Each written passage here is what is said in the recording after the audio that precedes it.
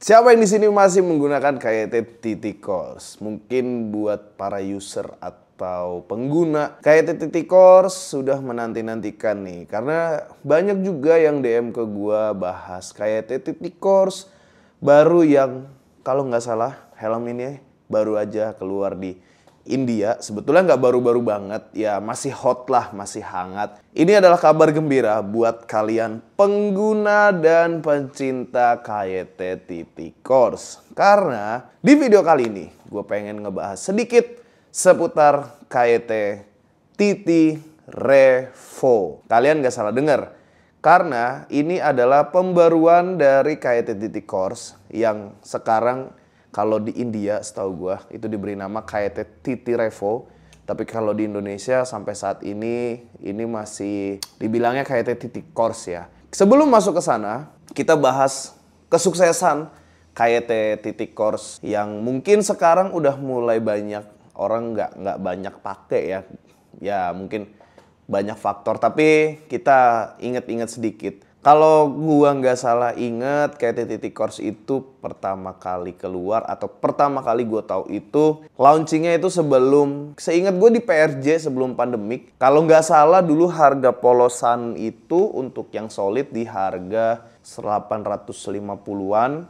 Terus kalau yang motif biasa bukan motif pembalap itu di sekitar 950 ribuan sampai 1 juta 50 kalau nggak salah ya. Terus sempat turun, terus akhirnya harganya uh, sempat kegoreng lagi sampai akhirnya di motif pembalap. Pertama kali yang gue tahu itu adalah pembalapnya Jaume Masia gitu ya. Lanjut, setelah pandemi, helmnya mulai apa ya?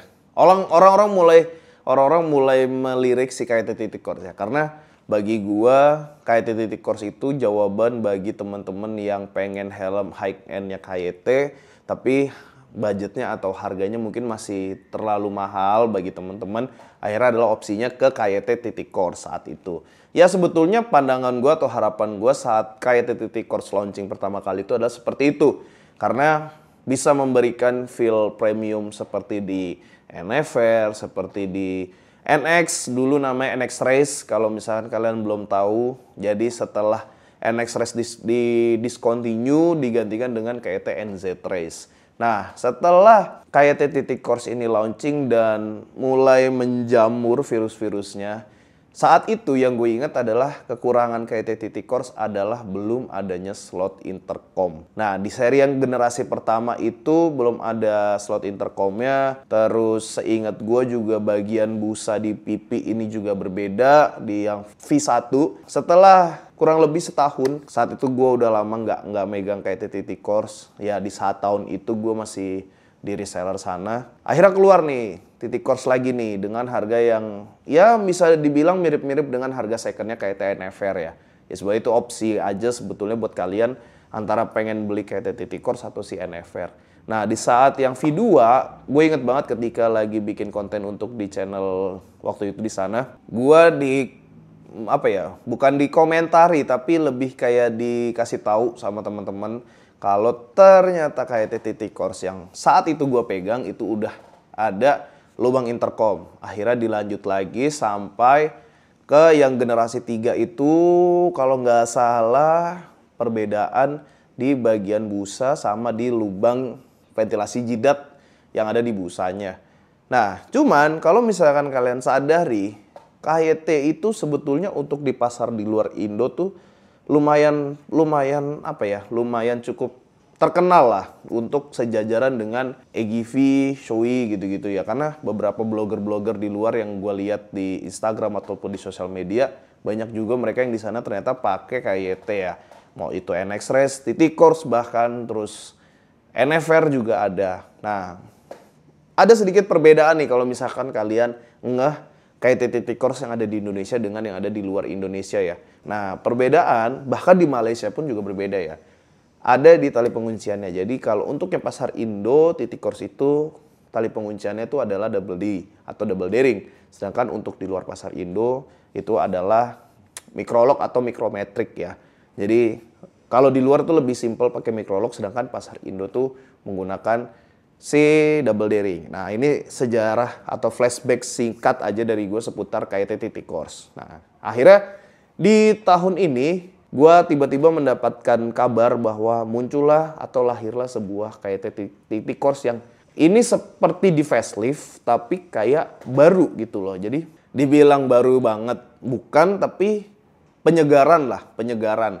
Nah, beberapa penyegaran yang gue lihat di kayak Titi Revo, bahasanya Titi Revo, nggak tahu kalau masuk di Indo apakah namanya kan sama Titi Revo juga. Tapi di sini yang kelihatan paling mencolok adalah di bagian visor lock.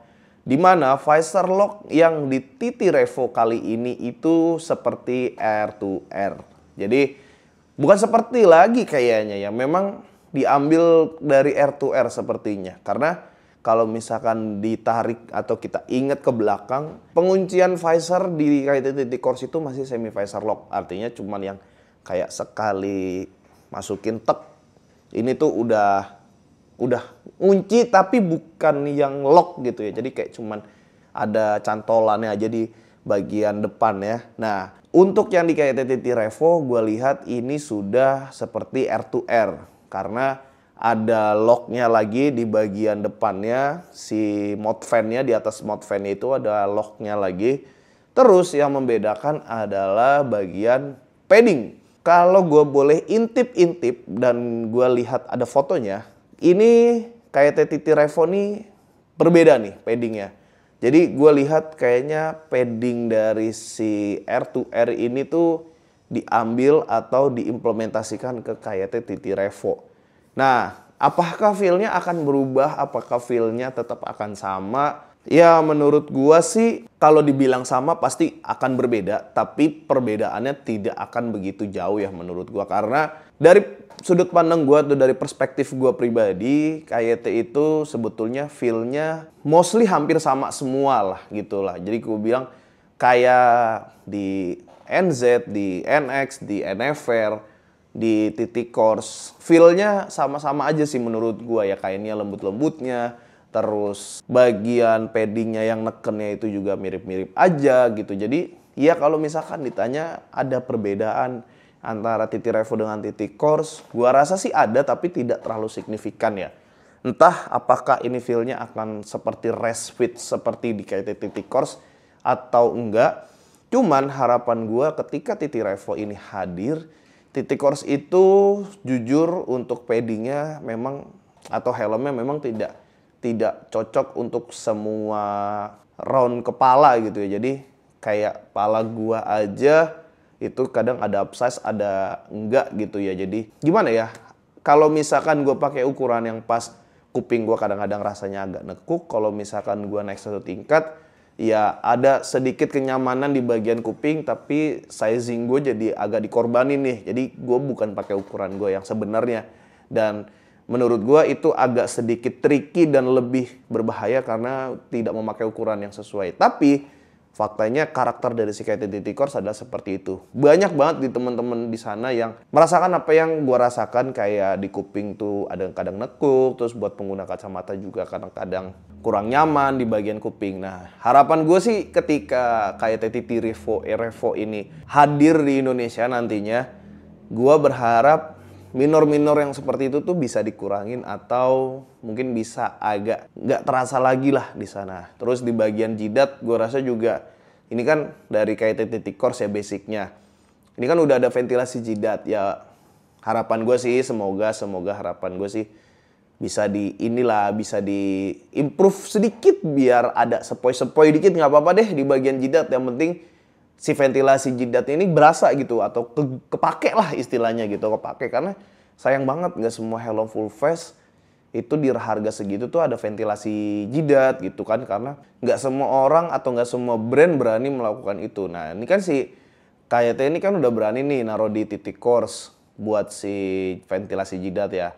Harapan gue sih semoga di ventilasi jidatnya ini lumayan lah bisa berasa gitu. Jadi nggak cuman orang kalau ditanya apakah berasa apa enggak enggak cuman pajangan aja nah semoga di Titi Revo ini bisa di bisa di improve di bagian padding sama bagian ventilasi jidat.